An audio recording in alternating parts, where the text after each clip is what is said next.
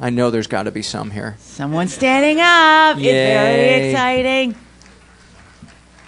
He's getting applause from another room. That's how Yes.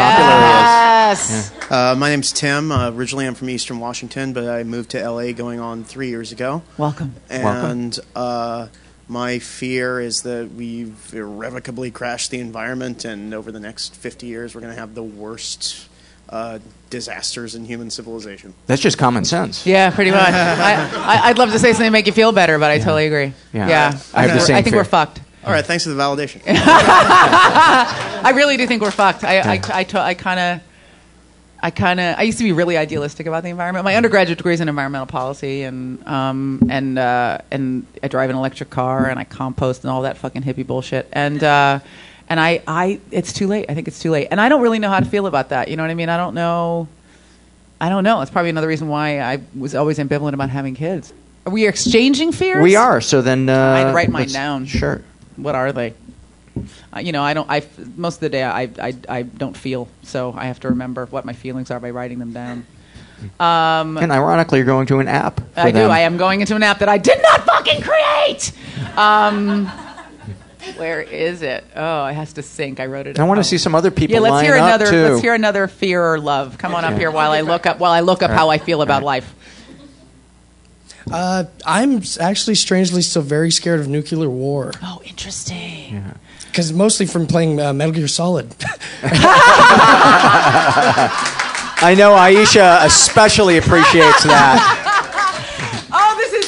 Okay, so first of all, are you also sca- are you also like are, do you love snakes that turn into cans of food? yes, yes, very much so.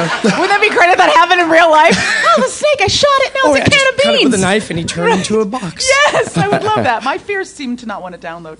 Um, uh, oh, here we go. So, um, yeah, so I played a lot of Fallout.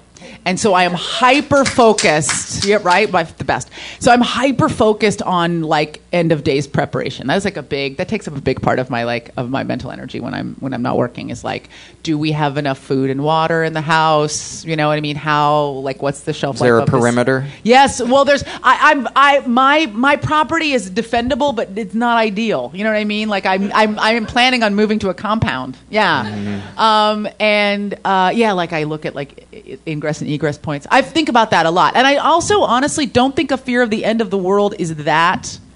Like, look, the world has ended hundreds of times already. It ended in Rwanda. It ended in, in New Orleans. It's ending now in Syria. The world has already ended for a lot of people. You know, that feeling, the end of days, the cops aren't coming, my family's been cut to pieces, I have no food. That's happening all over the world. Um, and I think that the, the kind of the arrogance that it couldn't happen here is um, it's just, it's, it's naive, isn't it? So, uh, like a culminating end, I don't know, but like uh, a By the way- periodic end, I think that could happen. And you should never sing Happy Birthday at TGI Fridays. Children's birthdays. Uh, go ahead. Oh, um, first of all, I fear being recorded. Um, Sweet. If you could step Look at him closer, walking step through it. closer to the microphone. Oh, okay. Um, my fear is, is that I'm gonna keep pursuing artistic interests and never find out which one I'm actually good or passionate about. You'll never know it except doing it. Yeah. Yeah, but that's, Yeah. I totally get that one. My fear is that I'm going to run out of ideas. That I'm going to wake up one day and I'm going to just be out of juice. Dude with awesome hat. Oh, thank you. Um, Is your question going to be ska related? Ah! zoot zoot, riot riot. Okay, go. I, I, I make ska wood carvings, so You're you That's get a awesome. you get a No, figurative I kiss don't. on the That's- mouth, buddy. That's called joke. Yes. Oh, okay. I loved Awesome it. I thought joke. it was artistic and subtle. Okay, on to the heavy stuff. Okay. Um, I'm Just a little bit afraid- closer to the mic, if you would. Oh, sorry. Uh, I'm afraid that I'm gonna uh, that I'm going to fuck up my marriage the same way my dad did through uh, selfishness and and self-centeredness. Period. Yeah. Yeah. You're brave. Thanks for saying that out Yeah. loud. Thank That's you for that fucking one. That was really brave. And I think the fact that you're aware of that is a good sign. Yes. A really good Yes. sign. You're married. I am. How long have you been married? Uh, we've been living together since 1988, and we've been uh, married since 1995. Rock and roll, long time. Yeah, yeah. I'm yeah. I'm married. I've been with my husband since 1989, and uh, married since 1994. So, um, the the I have a piece of advice. This is not an, a fear exchange. Where did guy in hat go? Oh, yeah. Okay. So, guy in hat whose face I cannot see anymore. Um, first of all, I think the thing that you said, Paul, was that yeah, that you the fact that you're aware of it is very important. That you don't want to fuck it up. I used to think that. I used to think that was like my father. You know, because my I mean, I think uh, one of the reasons my parents broke up was that you know people were fucking around. I think that was part of it. You know, and. Um, and I used to worry that like I might end up that might be the end of my marriage that I might do that and ruin my marriage. And the fact that you're thinking about it and you're concerned about it, I think is really important because I think people who are not self-aware are the ones that do things to damage their lives without seeing what they're doing. Um, but marriage is super hard. It's super hard. So the fact that it feels hard is okay because it's hard. I think people hit a hard spot in their marriage and think there's something wrong with me or my marriage, when in reality, marriage is fucking hard and it just stays hard until one of you expires and is released sweetly from the bonds of fucking your mortal coil. Um, thank God, sweet, sweet release. So, um, I think that a big part of what's kept me married is being honest and being able to be really um, like letting him be human and him letting me be human. I don't accept perfection. I don't. I don't expect perfection out of him. That's nothing as a marriage killer, like trying to change your partner. No, like he just gets to be the dude he is, and I don't. I don't. He and that's it. Like he, like he literally doesn't have to change at all for me, and him, he's been nice enough to let me be that way as well. And I feel like if there are things you need out of your marriage that you're not getting, you need to articulate them because either you say them out loud and you figure it out, or one of you is fucking furious until you blow the marriage up. You know what I mean? Um, but you know, staying staying faithful to the same person for your whole life, man, that's like a fucking math problem that nobody is able to solve. It's like the hardest fucking thing. It's like a Rubik's cube. You can pick it up and put it down, pick it up, put it down. How the fuck does this work? And, and nobody, you know, nobody ever really gets it right. And that doesn't mean people don't stay faithful their whole lives, but it doesn't mean they don't think about it every motherfucking day. Yeah. So, um, you know, anybody who's expecting you to never think about it and never look at other people and never Yeah. consider what it might be like to have sex with another person has an unrealistic expectation about what a marriage is. A marriage should be your best friend who lets you be yourself and lets you be your best self and your worst self and, um, you know, doesn't get mad at when you fart in bed. Yeah. awesome. Next, next. Did we did we do your fear? No. No, I What's your to next exchange fear? a fear? Yeah. Fuck. Well, I said the one about failing to get everything done that I want to do before I die, right? That's Yeah. that's a big one. That's probably like the biggest one. Oh, and the other one I really it's, uh, uh, is not following through. Like I hate. I'm, I'm like a, like if I start a book, I have to finish it, even if it's a terrible book. And that's a metaphor for my whole life. Like I like start no finish is like the number one thing I just I abhor. Hey, hi. And we're, and we're running short on I time, so let's. Well, no, no, no, no, no, no. I was just going to say, let's um, just bounce them back and forth uh, Yeah. if we if, if we Yeah. can. Okay. Well, I was to bring it, I guess, uh, a little farther out. I just realized that growing up as a kid, I was such a big sci-fi geek, but now I'm so. I realize I could never actually go into space if I ever had the chance because I'm Mm-hmm. so afraid of dying in complete silence. Like, Yeah. like it's just it's just that fear of like, oh my god, if the future actually comes here, I could never actually confront it because dying in space is so frightening. Especially now Mm. that gravity came out. Uh, Drop acid and get into a sensory deprivation tank. Your next one? I, I, I have a really highly developed uh, germophobia. I'm super OCD, hand washer, surface cleaner. I've, I've actually put disinfectant in my mouth before. Delicious. It's just alcohol, you pussies. Aisha, This is Mo, by the way, who is the king of the forum, who helps the podcast so much. Can we give him a round of applause? He lightens my load beyond compare. He allows me to just let the forum do its thing and turn over all the worry. So I just want to thank you publicly. That's Oh, nice. Thank you, thank you. More along the lines of the the ska dude uh, with a little more heavier fear. Uh, I'm no longer I'm no longer suicidal, but I I really am afraid that I'll never get to a place where I'll stop being uh, ambivalent about being alive. It's like I can take it or I can leave it uh, because of um, anxiety. Yeah. Yeah, Thank- that's a really, that's good. You And I think that's, pretty common too. Yeah, I think that you should not feel alone like that. I think most people most people are confronted with an ambivalence about life. Yeah. Very brave of I- you to say it out loud. I have many days of is this all there is? yeah, and many days of what is this going to amount to anything? yeah, and that's why Mo's so good in the forum. Yeah, You you know? know, and and Yeah. you know, your parents made this decision for you, right? They put you here. None of us decided to be here. It's a decision you make every day once you're here, right? So you have to make it for yourself every day.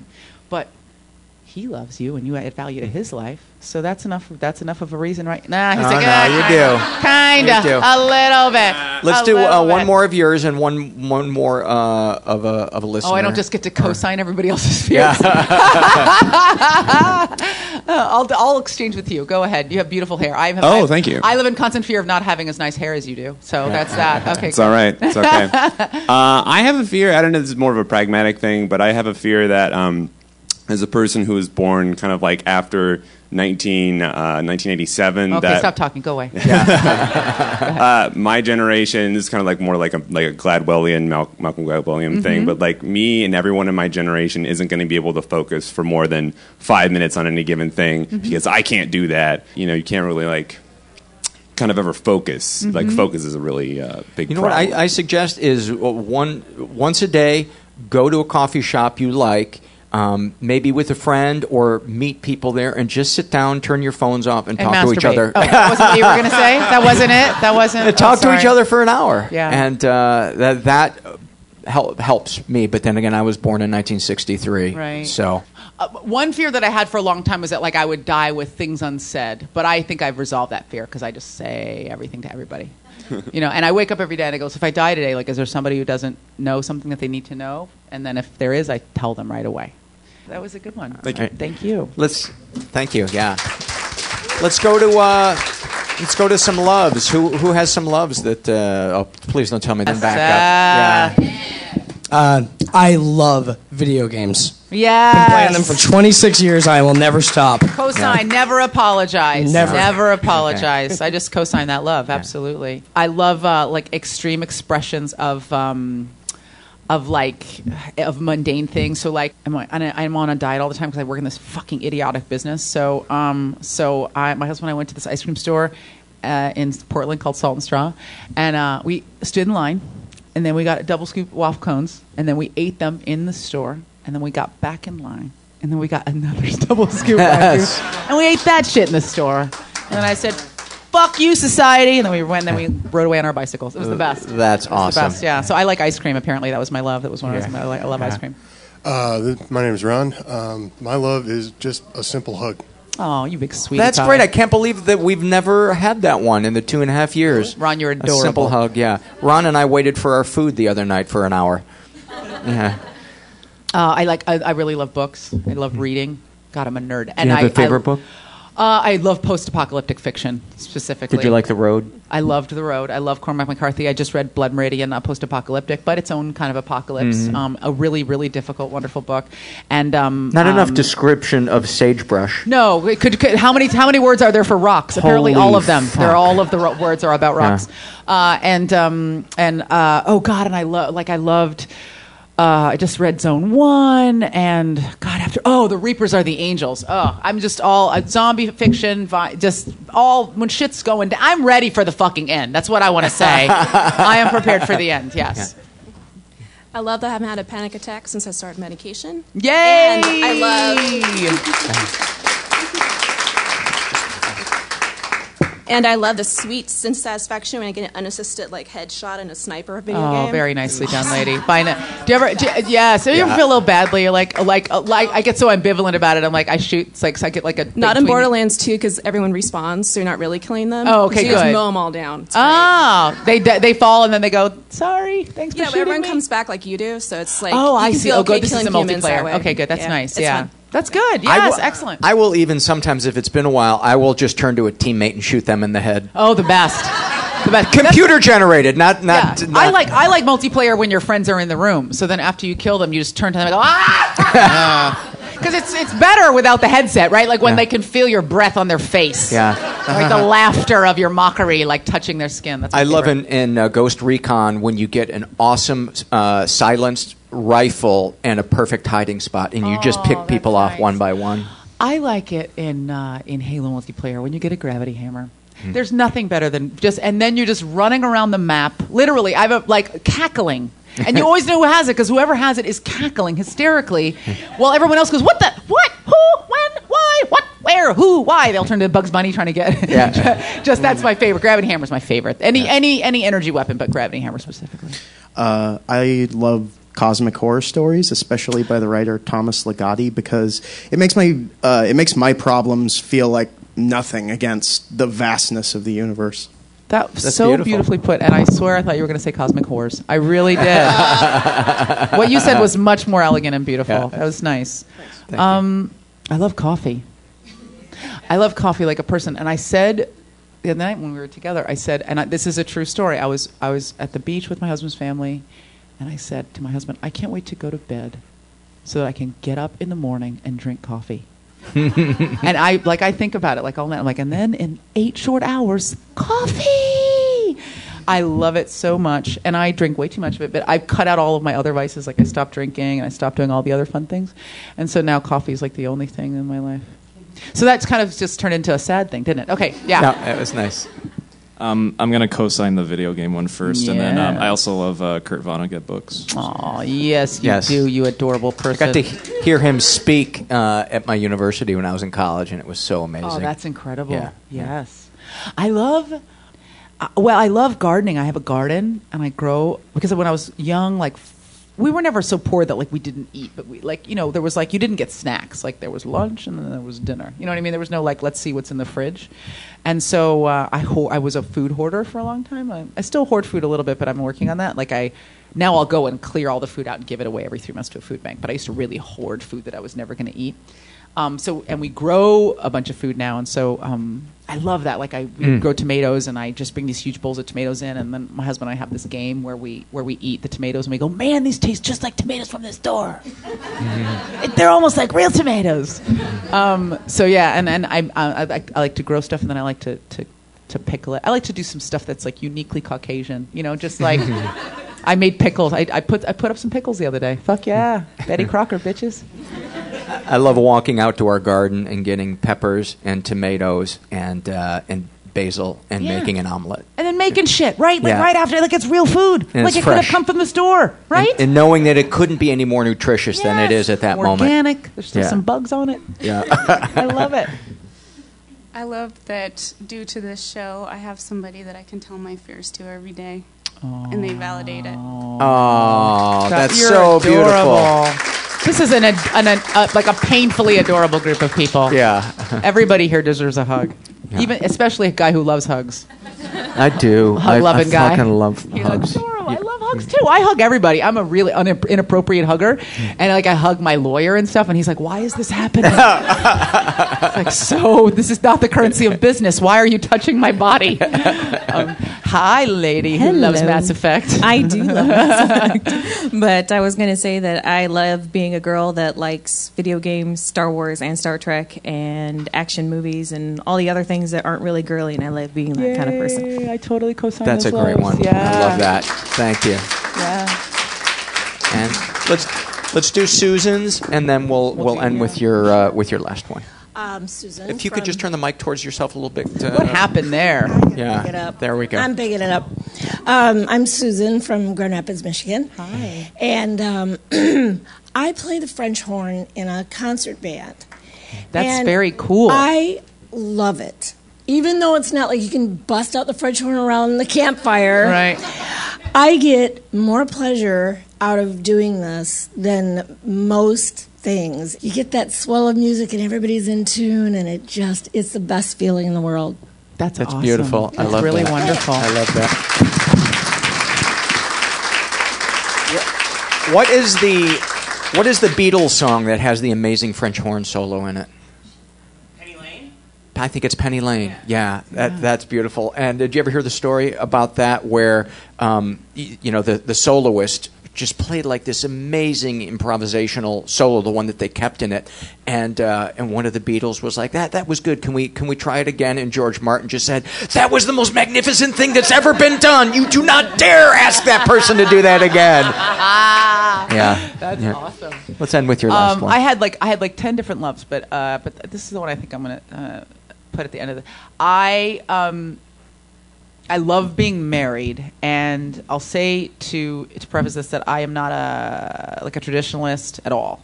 I didn't think I would get married. I thought I would be like I'm going to be a businesswoman, and then at 50 I'll take a lover. You know, uh, Yeah. I, I never thought that I would get married, um, and I I think that um, marriage is very very difficult. I think fewer people should get married. Many fewer people should get married.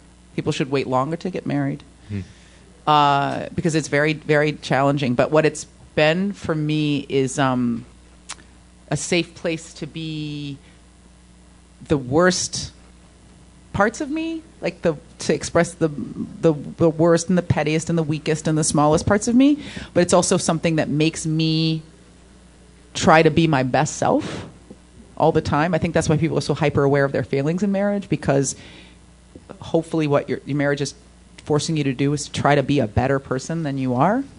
Uh, and it's been this incredible kind of like lifelong meditation of like how to be a better person and how to be a kinder person and how to be a more accepting person, uh, not just of my husband but of myself.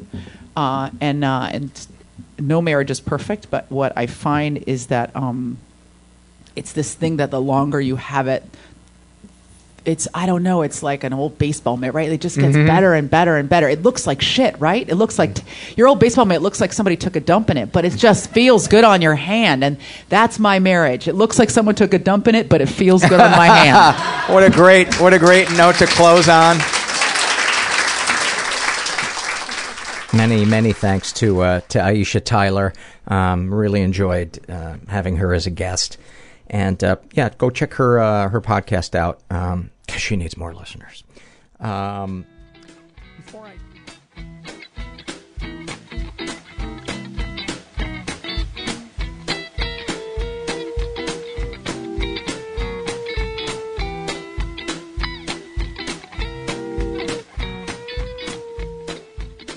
Everybody I know is bizarrely beautifully Everybody fucked up I in know some is weird bizarrely beautifully fucked up in some weird way. Bizarrely beautifully fucked up in some